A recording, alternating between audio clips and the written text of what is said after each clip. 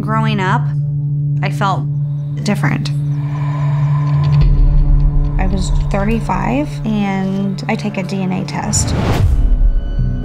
When I opened up Ancestry, I had over 3,000 hits. All of these random names were popping up and it said close family. We all matched the name Cline. Dr. Cline was the best infertility doctor in Indianapolis. Right then, I knew Cline was our biological father. So that's when strange things started happening.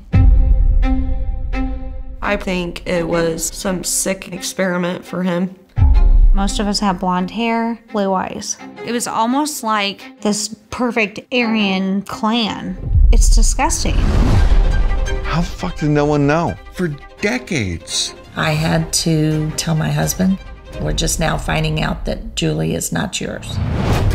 I reached out to every news outlet, big and small. This was a person of a position of power. He's known in our community as a philanthropist. He's an elder of the church. And the Attorney General's office. I don't deny that it was a sexual violation, but legally, there's just no crime that touches this particular act.